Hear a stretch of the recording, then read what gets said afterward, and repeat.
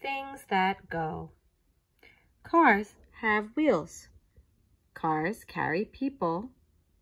Cars carry people from place to place. Cars are used for many things. These cars are used for racing.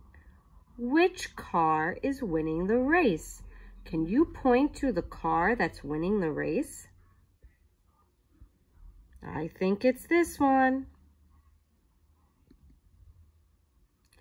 Trucks carry things.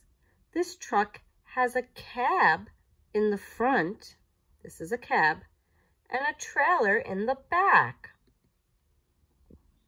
A fire truck carries tools to help put out a fire. Can you find the ladder? Let's take a look.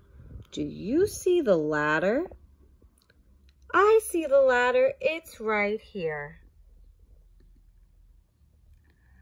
Airplanes have wings and fly through the sky. They carry people or things to places far away. This is an engine. This is a wing. And this is called the cockpit. That's where the pilot sits and flies the plane. These planes are flying higher than the clouds. Can you count the planes? One, two, three, four. Trains travel on railroad tracks. They go by land, over bridges, and through tunnels. This is called an engine. This is a railroad car, and the thing they're traveling on on the ground is the track. A high-speed train goes very fast.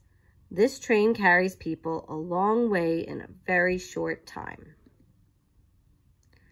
Boats float on water. There are many kinds of boats. This is called a sailboat.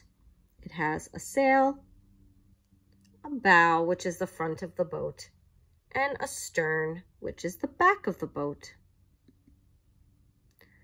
This boat is very big. It carries things, even airplanes. Can you find the bow? The bow is the front of the boat. This is the bow. That is the back of the boat. That is the stern. That boat is very big. Zoom, whoosh, choo-choo. Can you name all the things that go? What is this? Good, it's a train. How about this one? Very good, truck. How about this one? Vroom, it's a race car. How about right here? What is this called? Good job. It's an airplane or a jet. And down here, what's this? It's a boat. It's actually a sailboat. The end. You guys did a great job, and I'll see you tomorrow for more books about transportation. Bye.